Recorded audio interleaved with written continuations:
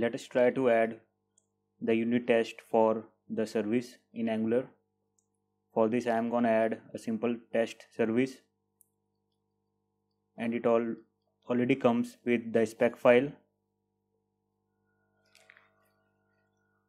And here we can have a simple test that it should be created. So i'm gonna add a simple method that is get is get connection that will return a string. Let us suppose when i am calling this method get connection it will return connection 0101 and one more method that will return as an observable that will be the collection of a string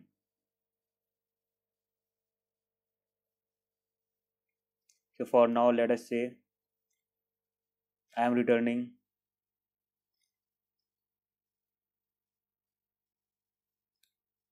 The data so we already know that off is an observable. So it will return you d1 d2 d3 d4 and d5 in the form of a string array as observable so now we have two method that we are gonna write the unit test for these two method.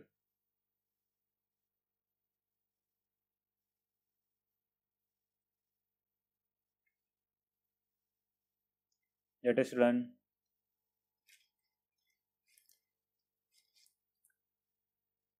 And see what that already available unit test is getting executed that it should be created. It is running exactly as it is. Now we are gonna write new spec for our two method get connection and the get all.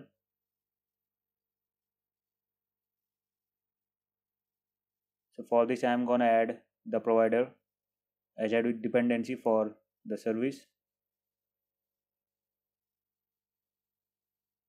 So i'm gonna write the unit test for the test service so i am adding it to the provider.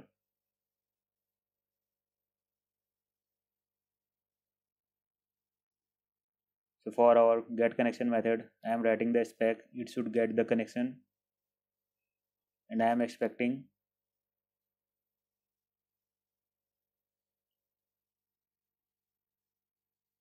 service dot get connection to be connection 0101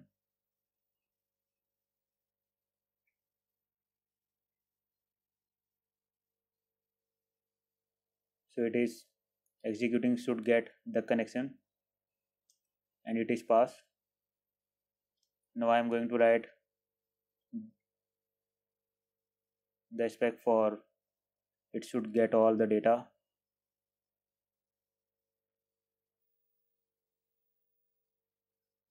and now as because that particular function is returning as an observable so data will be available once we subscribe to it. So we have to add service dot get all dot subscribe and the data that we are getting should be as per our expectation. So we are expecting data to be?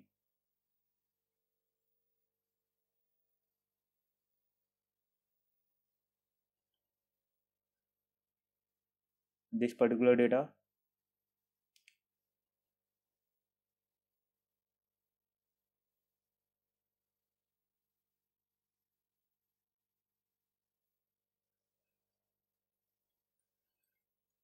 So it is failing it is saying like we have we have to use to equal instead of to be as it is expecting the object to be exact like that particular object. So let us say we are trying to check with to equal. So it is running as it is. And also we can check with json dot stringify the complete data. And it will check as it is. Here also we have to stringify. And so it is running and executing all the tests so here the data should can also come from some http service and we can access those service also for returning the data. For right now we have just returning the observable dummy data. So that's all. Thank you so much